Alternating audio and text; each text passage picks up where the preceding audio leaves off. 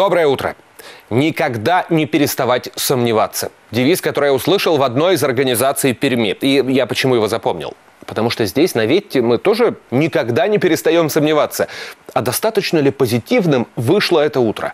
А смогли ли мы в полной мере отразить картину дня, чтобы вам было легче к нему подготовиться? И каждое утро стараемся сделать еще лучше. Давайте посмотрим, что получилось сегодня. Утренний вестник уже у вас. Брать или не брать? Стоит ли сейчас покупать доллары? Люди говорят.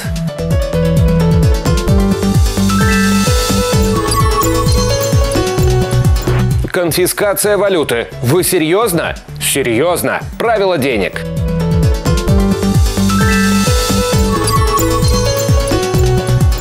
О что нам фронт несет? О погоде на этой неделе.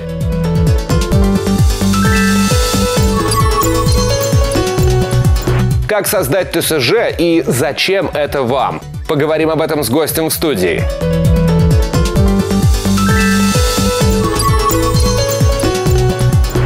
Личная территория. Идем на выставку в ЦВЗ.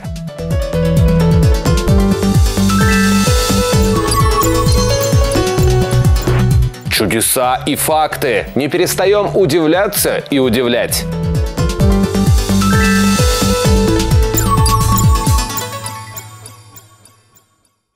Можно было бы сказать, все, сидим по домам, но я предлагаю думать, что дома просто лучше. Объем услуг турагентств в Прикамье снизился на 72% по сравнению с последним доковидным 2019. Вот такие вот новости. А вот еще какие – Несколько авиакомпаний получили допуски на выполнение регулярных международных рейсов из Перми. Соответствующее разрешение выдало Федеральное агентство воздушного транспорта. Red Wings получил допуск на рейсы по маршруту Пермь-Баку и Пермь-Ереван. Компания запрашивала частоту перелетов два раза в неделю. Авиакомпании «Сибирь» разрешены полеты из Перми в израильский Эйлат. Частота возможных полетов три раза в неделю. Royal Flight получила допуски на прямые авиаперелеты из Перми в Королевство Таиланд. Получение допуска на выполнение рейсов не гарантирует гарантирует формирование полетной программы. Жители Прикамья стали жаловаться на отсутствие сахарного песка в магазинах. В региональное министерство промышленности и торговли поступило сразу несколько жалоб. В Минпромторге подтвердили, что дефицит сахара у некоторых торговых сетей действительно имеется. Связано это в первую очередь с большим спросом. Сейчас пермяки делают варенье и другие заготовки из ягод и фруктов. В целях контроля за ситуацией создан специальный оперштаб по мониторингу и оперативному реагированию на изменения конъюнктуры на продовольственном рынке. В этом году, сравнении с аналогичным периодом прошлого года, то есть объемы э, вот поставок э, и реализации сахара, они практически выше в два раза по сравнению с прошлым годом. И просто торговые сети, конечно, не ожидали такого повышенного спроса именно на сахар. И поэтому вот, э, временные трудности и возникли. Необходимо время то, чтобы и логистику перестроить, и заявочную кампанию усилить. И я думаю, что на этой неделе ситуация должна кардинальным образом измениться. Вырастет ли в таком случае цена на сахар, то, по словам Владислава Танкова, все участники рынка уверены, что нет. В ближайшее время поступит свежий урожай сахарной свеклы, и заводы-производители будут обеспечены сырьем в достаточном количестве.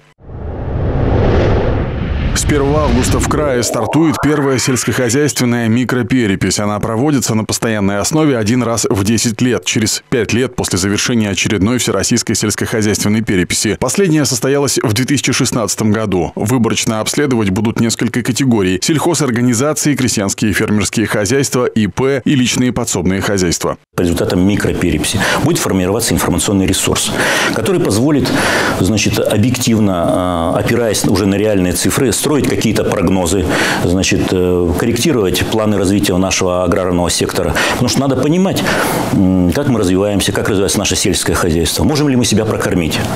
Значит, сколько у нас земли, сколько у нас поголовья, какова структура, значит, где нам, может быть, э, развивать уже какие-то другие направления. К работе привлечено почти 640 переписчиков. Каждый из них должен будет пройти порядка 480 объектов переписи. Сотрудника можно узнать по спецэкипировке, кепка и зеленый жилет с соответствующими эмблемами и по удостоверению переписчика. Не надо предъявлять ни, на, ни документы ни на дом, ни на землю, там, ни на каких там животных. То есть это значит уже какой-то мошенник пришел. Наш переписчик заполняет только со слов. Вся информация, она конфиденциальная. Обработка в закрытой сети будет происходить происходить. То есть ни через какие каналы связи, ни через интернет это передаваться не будет. Заполнить бланки юридические лица смогут и онлайн на сайте Пермстата. Закончится сельскохозяйственная микроперепись 30 августа. Первые данные в Пермстате ожидают к концу этого года. Льготно и дорого, так можно сказать про пермский рынок недвижимости. Программа льготной ипотеки продлена до июля 2022 года. Это и стало толчком для тех, кто откладывал покупку своего жилья. Для застройщиков это спрос на продукт, для покупателей – рост цены. Роковую роль в этом процессе сыграл и небывалый спрос на строительные материалы. В итоге разница в цене в сравнении с прошлым годом существенная. Новостройки в районе 15%, 15 может быть, ну где-то в элитных домах там до 20%, а вторичный рынок, наверное, процентов около 10. Первичный рынок, он, ну, средняя стоимость, наверное, квартир сейчас 75-80 тысяч рублей за метр квадратный. И люди с удовольствием покупают. То есть, опять же, господдержка повлияла для вот именно такого ажиотажного спроса. Однако такого ажиотажа на жилье, что случился в прошлом году, уже не будет, говорят эксперты. Еще одна особенность пермского рынка недвижимости – выход за пределы региона. Район Краснодарского края, Сочи, э, да, с огромным удовольствием люди переезжают, потому что ну, совсем другие условия и погодные все отсюда вытекающие.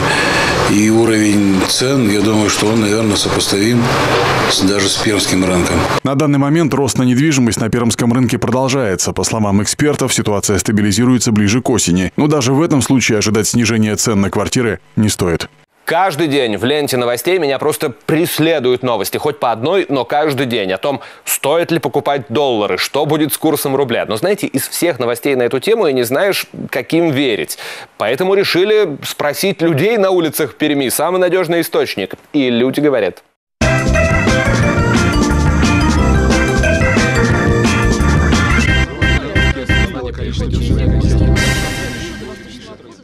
50% опрошенных нами пермяков покупать доллары не советуют. Одни говорят, что сейчас он слишком дорого стоит, другие, что есть куда более перспективная валюта. 31% опрошенных говорят, что доллар стабильно растет и наверняка продолжит эту тенденцию в будущем. Бесполезно. Считаю, бесполезно, пока еще слишком дорого. Пока еще, да, дорого. Думаю, можно купить, да. Разнообразить, скажем так, свой портфель, кошелек. Но долго бы я в них сидеть не стал. Я думаю, да, потому что он год за, год за год растет, как мы видим, наблюдаем. Э, перед пандемией, например, был где-то 60 чем-то, а вот он после пандемии вырос до 70 чем-то. Сейчас он стоит 73, по-моему. Вот. Покупать их очень рискованно, потому что ситуация на рынке разная, каждый день меняется. Но я думаю, что дешеветь он навряд ли станет. То есть, если даже и подешевеет, то временно. И вообще есть мнение, что он до 90 рублей скоро уже дойдет, поэтому вот так.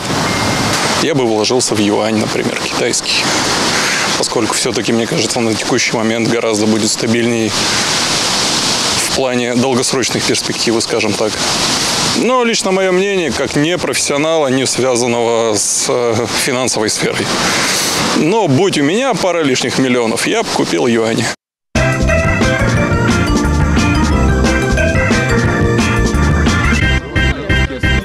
В какой валюте хранить сбережения? От мук и переживаний по этому поводу вас может избавить конфискация валюты. А что, такое возможно, спросите вы? Ну да, вот такие вот они, правила денег.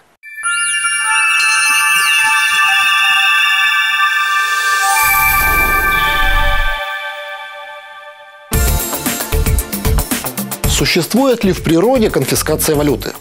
Ну, в действительности на этот вопрос могут ответить многие сограждане старшего возраста. В СССР за хранение и операции с иностранной валютой можно было получить не только тюремный срок, но и расстрел. Очевидно, что всю найденную валюту государство конфисковало.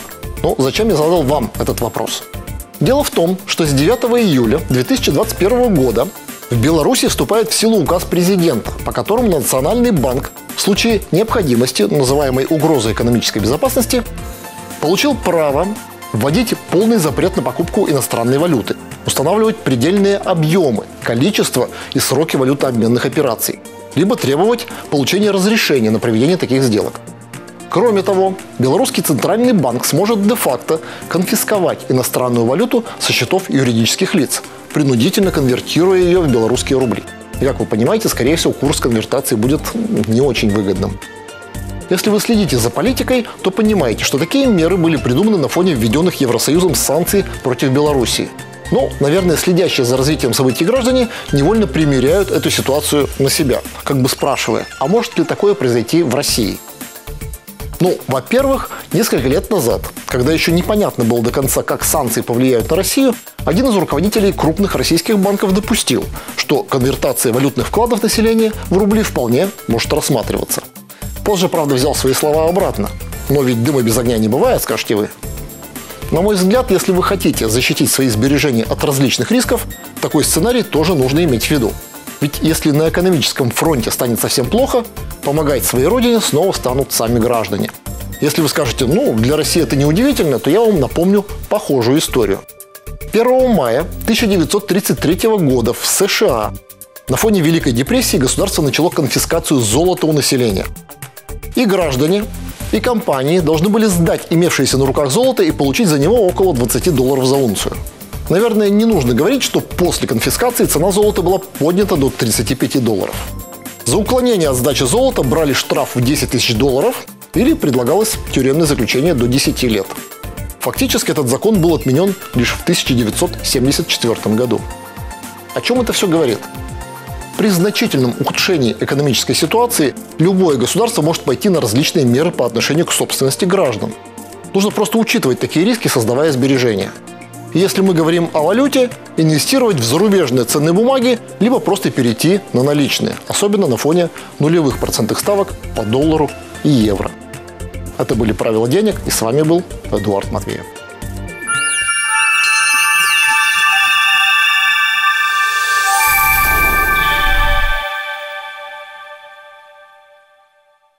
Только по ощущениям. Иначе никак. Ну, это я отвечаю на вопрос, как можно понять, э, что с погодой. Но ведь так невозможно понять, что будет с погодой завтра, послезавтра, в выходные. Приходится полагаться на синоптиков. Итак, что с погодой на этой неделе? Вот этот симпатичный малыш вполне может повстречаться на вашем жизненном пути, если вы решите прогуляться в сторону Пермской художественной галереи. Позади музея расположилась довольно любопытная выставка. Она посвящена красотам Пермского края. Правда, сегодня и завтра эти дни навряд ли можно назвать променадными, поэтому лучше всего захватить с собой теплые вещи. Скорее всего, зонтик вам тоже пригодится, потому что, вероятно, нас ожидает сегодня небольшой дождь. Правда, все должно ограничиться его утренней порцией, а в течение дня погода никаких подвохов не обещает. Дневная температура составит около 17 градусов тепла. Вот завтра все несколько драматичней. И на пару градусов станет прохладней. Не обойдется и без осадков. Кстати, очень хорошим барометром является окружающая нас флора. Советуем обратить на нее пристальное внимание – перед дождем обычные полевые садовые цветы очень сильно пахнут. Вот если вы выходите в ясную погоду из дома, и вдруг на улице ощущаете сильный цветочный аромат, пожалуйста, вернитесь обратно и возьмите зонтик, потому что непременно окажетесь под э, дождем. Но уже в четверг характер погоды станет больше похож на летний, столбик термометра доберется до 20, а к воскресенью вовсе настолько распогодится, что снова можно будет собирать пляжные наборы и отправляться получать солнечные ванны к рекам и водоемам. И вот здесь момент истины, потому что июль на этой неделе заканчивается, и главный вопрос на повестке дня – каким же будет август? По секрету расскажем, что следующая неделя точно будет теплее, чем это. Полина Рифа, Владислав Рашидов, телекомпания «Ветта». Мы продолжаем «Утренний вестник». А о чем эта программа? Ну, в первую очередь, она для вашего удобства. Чтобы вы, не отвлекаясь от утренних сборов, могли подготовиться к тому, что сулит нам начавшийся день, очередной в нашей жизни. А еще она, ну, знаете, таким товарищеским духом пропитана, мне кажется. Мы же с вами преследуем одну и ту же цель.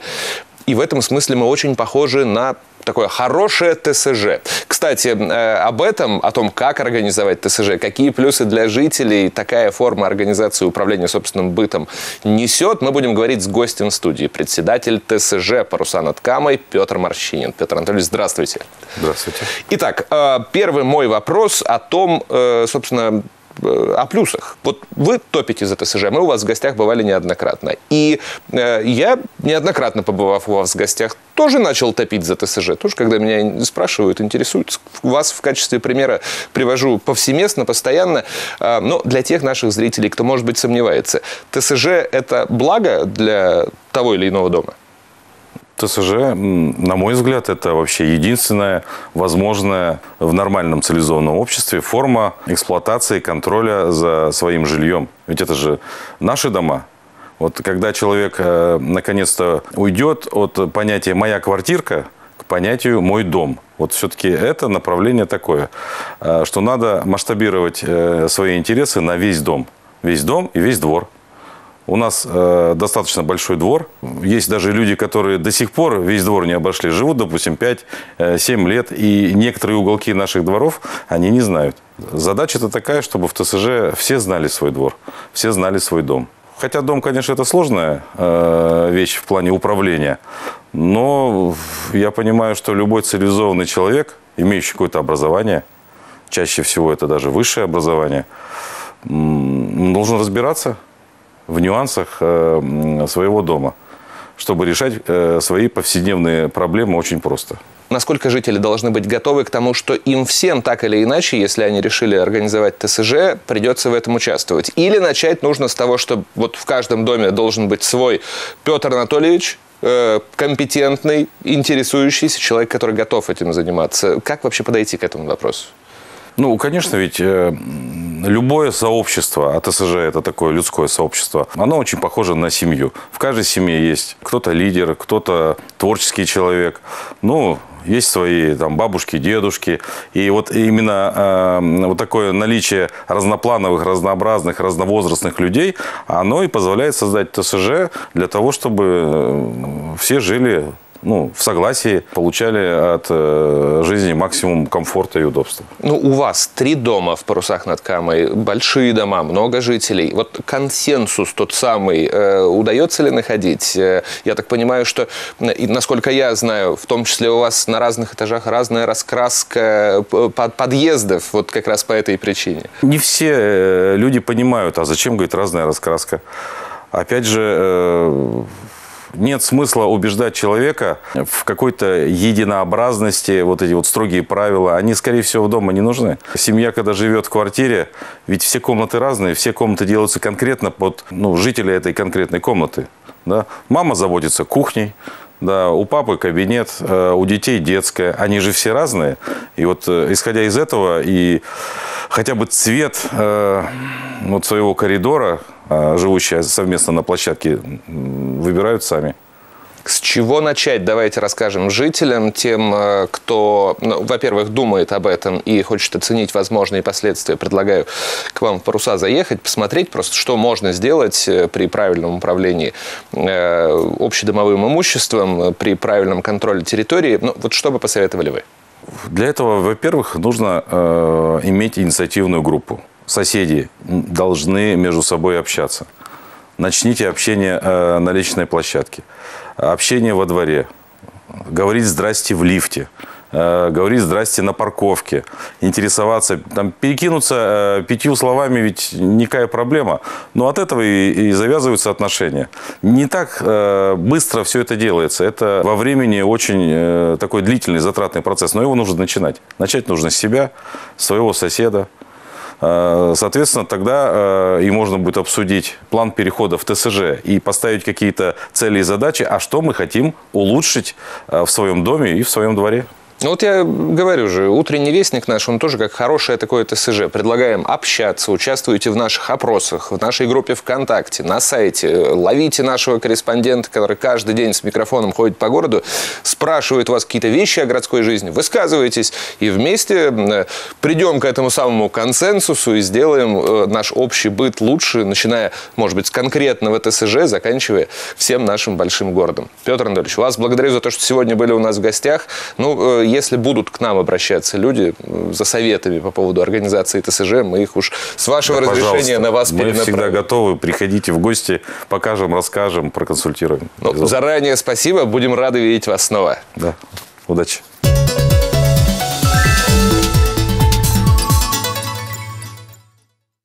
А теперь почитаем. Ну, вернее, мы уже за вас почитали пермскую прессу, а прямо сейчас расскажем о том, о чем пишут. Не отвлекайтесь от своего завтрака, ну или чем вы там у себя занимаетесь.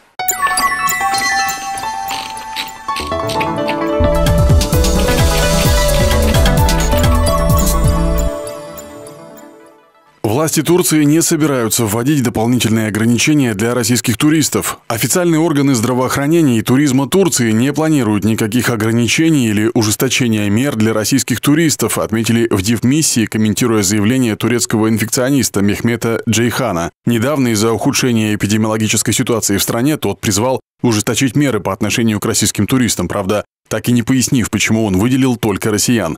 Хотелось бы отметить, что заявление господина Мехмата Джейхана является его личным мнением, подчеркнули в посольстве.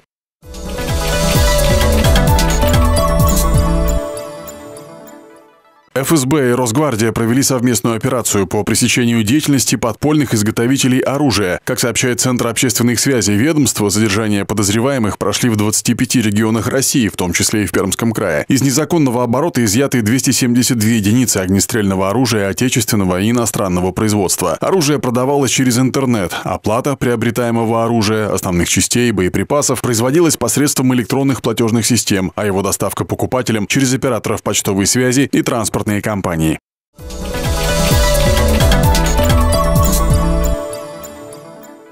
Объем услуг турагентств в Пермском крае за два года упал на 70%. Заметное снижение сохраняется и в объеме услуг гостиниц. За первые пять месяцев этого года объем сократился на 23% к 2019 году. Между тем, на допандемийный уровень вышли санатории и дома отдыха в Прикамье. Практически во всех сферах оказания услуг максимальное падение объемов было зафиксировано в прошлом году и с тех пор идет возвращение к докризисным цифрам. Этот путь уже прошли общепит, предприятия по оказанию услуг химчистки, пошива одежды и обуви, ремонта транспортных средств.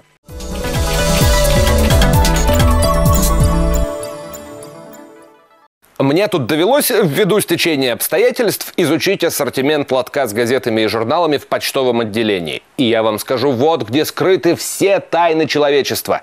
Тайны и мифы, невыдуманные истории. НЛО существует лишь несколько названий и заголовков этих периодических изданий. А у нас просто чудеса и факты.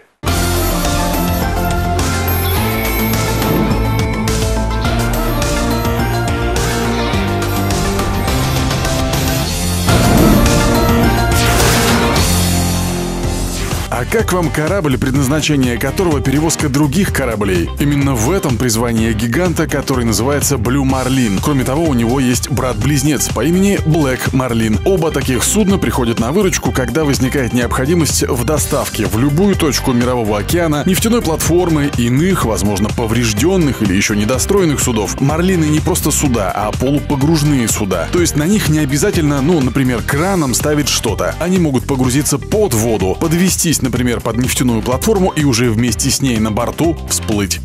Ширина судна 79 метров, длина 275 метров, а осадка 9,5 метров. Крейсерская скорость «Голубого Марлина» составляет почти 13 узлов. Но справедливости ради отметим, что используют их не так уж и часто. Эти плавучие гиганты были построены в 2000 году в Норвегии. Через два года после спуска на воду их серьезно модернизировали, в том числе и в плане грузоподъемности. Сегодня они принадлежат компании из Нидерландов. Они успели совершить ряд подвигов, собственно, для чего их и строили. Перетащили гигантскую американскую нефтяную платформу British Petroleum, поврежденный американский эсминец, радар морского базирования и недостроенный вертолетоносец.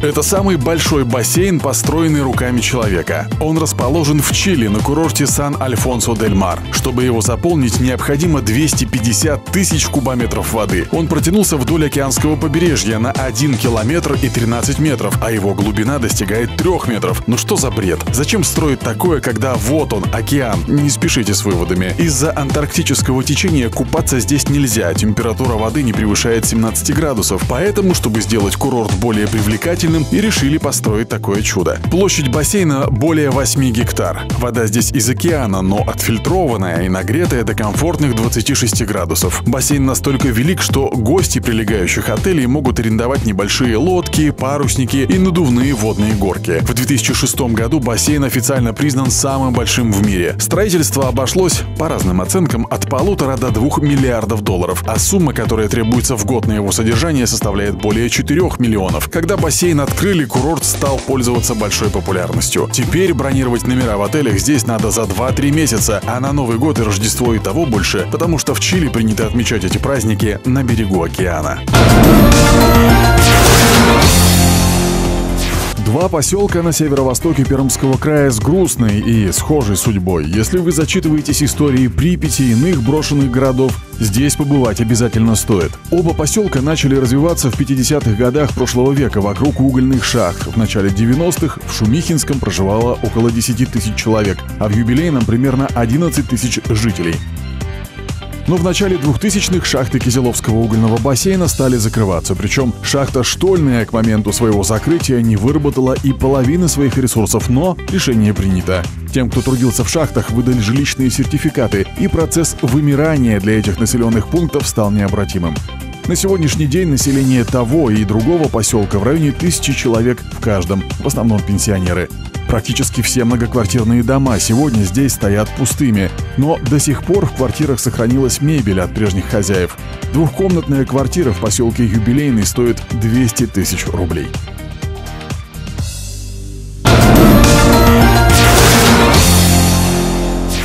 Плато Путарана называют одним из полюсов недоступности нашей планеты. Это удивительное место находится в Сибири, южнее полуострова Таймыр. Его площадь приблизительно 2 миллиона гектар. Более 252 миллионов лет назад на этом месте располагался огромный вулкан. Ученые говорят, куда там Йеллоустоуну, он был самым большим на нашей планете.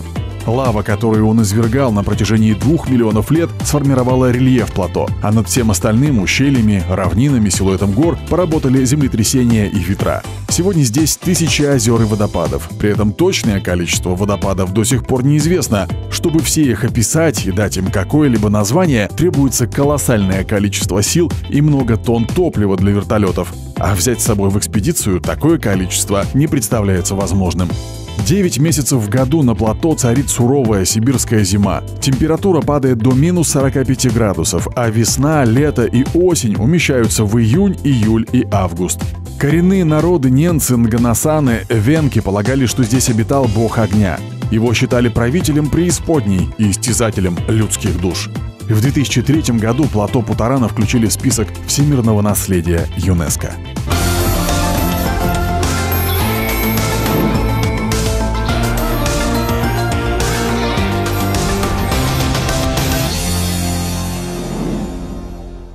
Бывает такое, что выходные заканчиваются, и ты понимаешь, что провел их абсолютно бесцельно, и не отдохнул особо, и не сделал вроде бы ничего полезного. Чтобы побороть его, это ощущение, предлагаю сделать что-нибудь полезное для себя и отдохнуть культурно в рабочие дни. Приглашаем на личную территорию.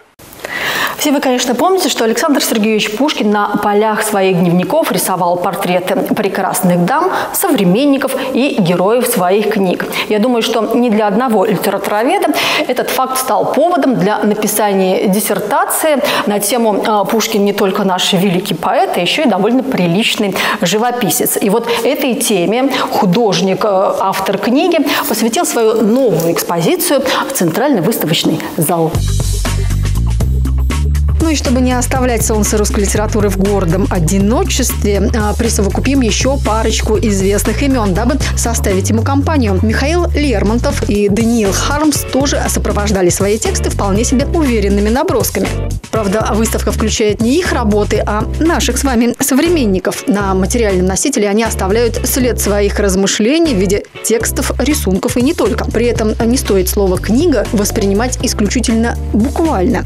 Работы из Москвы, из Санкт-Петербурга, а, очень крутые и прямо уникальные издания авторской книги издательства Витанова, прекраснейшие арт-объекты, которые ну, просто так, наверное, э, увидеть почти невозможно, потому что они очень специфичные, они очень личные, и в каких-то больших выставках участвуют редко. Тазбакс – это прекрасный художник, который в основном занимается стрит-артом и паблик-артом. Я думаю, что вот э, эти работы можно интерпретировать по-разному. 84 год – это год его рождения. У нас э, с вами возникает ассоциация 84-го согласно Джорджу Оруэллу. Основная его идея – это некая законсервированность, опять же, знания, где э, нужность, ненужность. То есть это знание законсервировано для последующих поколений. Или это знание ненужное, которое можно просто, оно может испортиться, и, и мы его выбросим. То есть вот этот вот, вот этот вот разнообразный интерпретационный подход мне очень близок в работах всех художников. Для вот этих э, объектов художник э, использовал настоящий рассол, настоящий, по крайней мере, честно. Да, да, да, да, да. И, собственно, книга как то, что, как то, что мы можем потреблять. Каждый из участников выставки использует свою стратегию при создании книги художника, и в этом ее неповторимость. При этом художником при желании может стать каждый из нас. Главное, чтобы вам было что сказать. Ну а материалом для выражения мысли может быть все что угодно. Старый билет, квитанции, гербарий или письма. Выставка «Личная территория» подскажет, как лучше это сделать.